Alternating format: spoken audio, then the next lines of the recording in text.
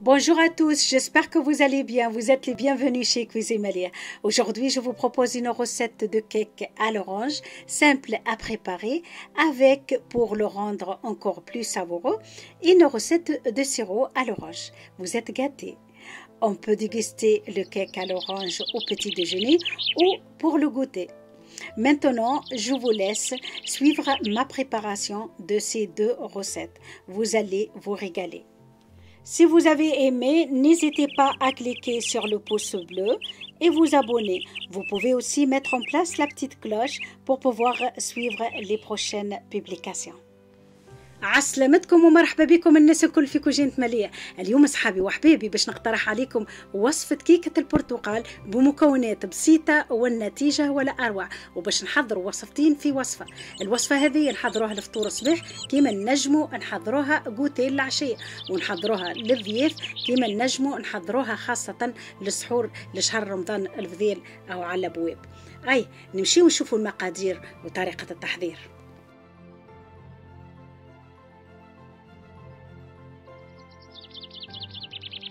هيا نشوفوا مع بعضنا المكونات. عنا البرتقال. أنا اليوم مش نستهلك مقدار خمسة ستة كعبات برتقال ما أكثرش. وعنا خمسة بيضات. وعنا 200 جرام سكر. وعنا 200 جرام زبدة. الفارينة عنا 300 جرام. وعنا sachet متاع خميرة حلويات. وزوز ساشيات متاع sucre vanillé وعنا رشة بيكربونات. ورشة ملح. أول حاجة نعملها ناخذ عصير البرتقال ونحطه على السكر الحضرناه 100 جرام. تنجموا تحطوا السكر أكثر كمية. أما أنا ننصحكم خاطر الوصفة هذه بالذات ما تحطوش كمية كبيرة نتاع سكر خاطر إحنا مش نحضروا sirop من بعد والوصفة ما تسحقش الحقيقة كمية كبيرة نتاع سكر. باهي. عصرنا البرتقال صبيناه على السكر باش السكر هذاك يتحل وباش نربحوا وقت لا أكثر ولا أقل راكم تنجموا تخلوا السكر شايح وتحطوا البرتقال من بعد. أما باش تربحوا الوقت وقت السكر هذاك يذوب ما بين أنتم برشتوا هاك الزيست هذيك نتاع البرتقال والسكر تحل شوية به لهنا متفاهمين. الزيت تراهو متاع البرتقال تنجموا تحطوا حتى ثلاثة كعبات يعني تبرشوهم. أما أنا حطيت كعيبة ونص فيه البركة مع العصير باش آه، كعبة الكيكة ما تجيكمش كحلة. يعني إذا كنت كثروا الزيت راهي مش ترزن وما تجيكمش يعني مزيانة في المنظر. لهنا ناخذ السلة البش نخلط فيها نحط فيها العصير برتقال والسكر والبيض والزبدة ونركضهم بالقدا بالقدا حتى لك السكر هذاك يذوب. ومن بعد نبدأ نزيد المكونات الأخرين بشوية بشوية. إذا كان ما عندكمش ركاذه راكم تنجموا تركضوا بيديكم بالقدا بالقدا المهم السكر هذاك يذوب ما ثماش حتى مشكلة. يعني إذا كان ما عندكمش ركاذه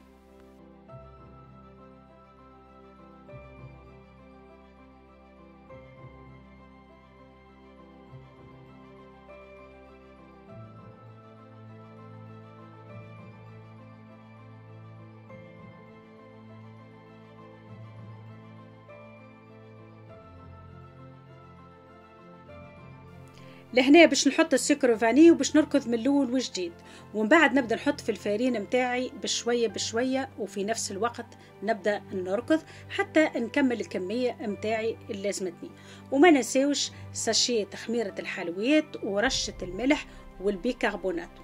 البيكربونات راهو يجيكم كعبة الكيكة خفيفة وقت اللي تحطوه. راهو ماهوش حاجة ضرورية. إذا كان مش موجود يعني نجمو نخدمو الكيكة بتاعتنا وما ثمش حتى مشكلة. الفرينة بتاعتكم أصحابي وحبابي يلزمها تكون مغربلة أول حاجة نظافة وعفافة وثاني حاجة باش الفرينة كي تحطوها ما يكونش فيها هكا تعابر هذوكم ويفسدوكم خبيزة الجاتو متاعتكم حاجة مهمة تغربيل الفرينة. في أي نوعية متاع جاتو تحضروه وحتى كذاك باش نحضروا الخبز وماذا بكم الفرينة بتاعتكم ديما تغربلوها.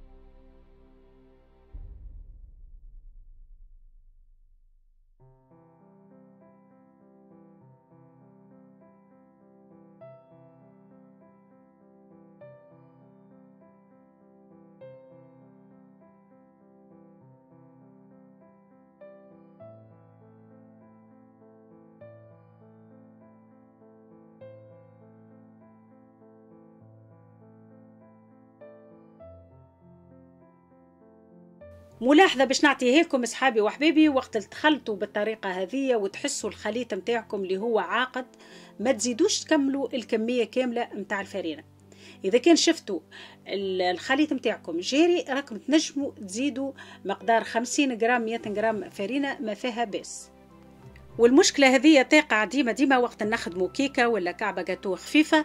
خاطر البيض ما نجموش نعدلو عليه. فما كعب يبدأ كبير وفما كعب يبدأ صغير. وهذاك علاش؟ يا ما نزيدو وإلا نقصو ما ثم حتى مشكل أنا في الحقيقة الخليط متاعي جاني بالضبط 300 غرام. فرينة عليهم خمسة بيضات لا زدت ولا نقصت. وكما تراو في الفيديو الخليط ماهوش رزين برشا وماهوش خفيف برشا. المول متاعي دهنته بالزبدة والفارينة كالعادة والعوايد وشعلت الفور متاعي على 180 درجة.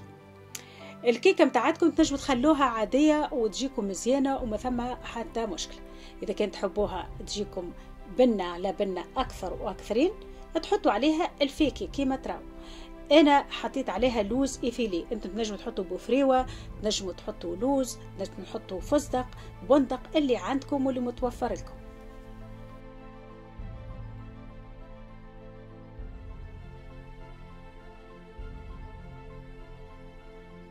كيما تراو صحابي وحبابي بال pique brochette تبداو آه، تخلطوا في هاك الخليط هذاك وتمشيو وتجيو فيه باش يخرج منه الهواء وثاني حاجة باش هاك اللوز effilé يدخل للداخل والكيكة متاعتكم تجيكم مزيانة برشا من بعد في التقديم.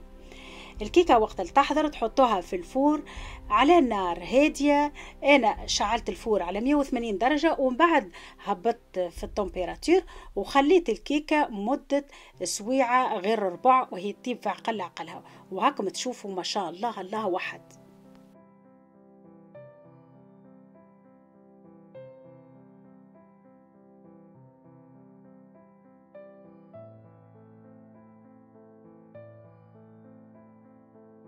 الكيكة متاعتكم ماذا بيكم تنحوها من المول وهو سخون باش ما يعرقش.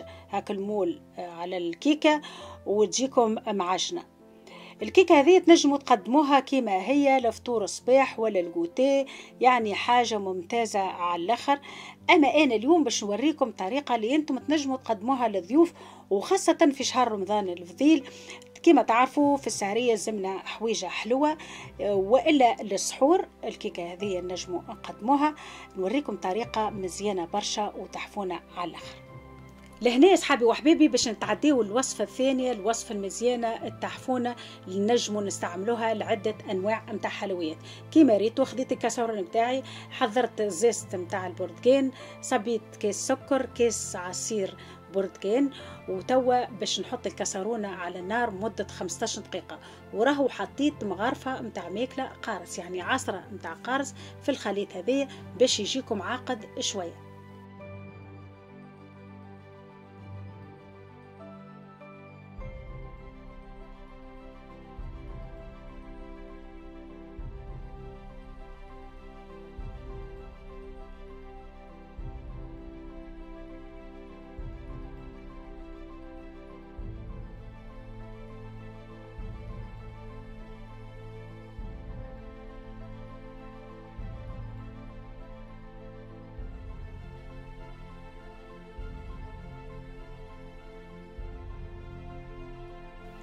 ال sirop متاعنا حضر ما شاء الله لا وحد حاجة ممتازة. على الآخر نجم نستعملوه لأي نوعية متاع جاتو نحضروه وخاصة الكيكة هذه بالذات يزيدها بنة على بنة هاكا تشوفوا تحضروه آه، بالمصبغ وتخلوه يبرد ومن بعد تحطوه في الفريجدير. وقت الحشتكم نجموا تحطوه على أي نوعية متاع جاتو ال sirop هذا تنجموا تخبوه في ال congélateur وتجبدوه وقت اللي حشتكم حاجة مزيانة برشا.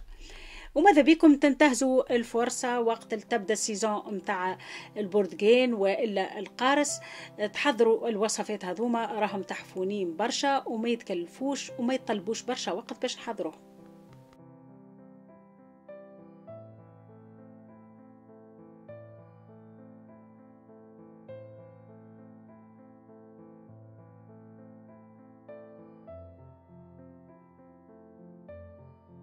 الناس المغرومة بالقارص تنجموا تحضروا نفس الوصفة متاع ال sirop وتنجموا تحضروا نفس الوصفة متاع الكيك بالقارص وتجيكم مزيانة وتحفونة كيف كيف؟ نفس الحكاية. ال sirop متاع القارص تنجموا تحطوه في ال congélateur معناها وتخبوه وتجبدوه وقت الحشتكم لهنا تو باش نزينوا الكيكة متاعتنا بال sirop هذاك بطريقة بسيطة بالكل.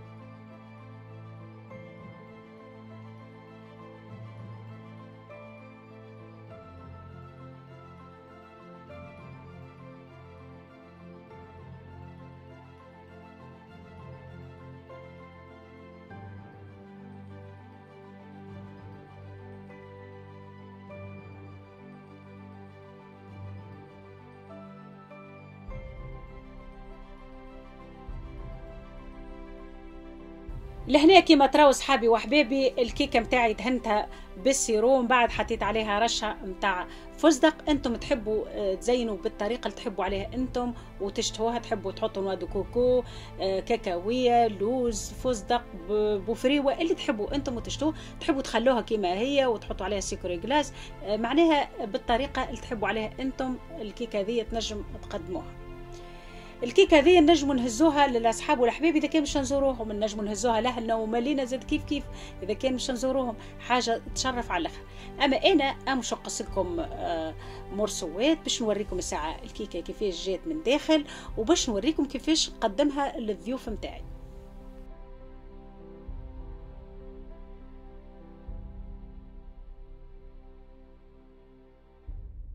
كيما تراو صحابي وحبيبي الكيكة متاعي من داخل طرية ومن برا تتقرمش.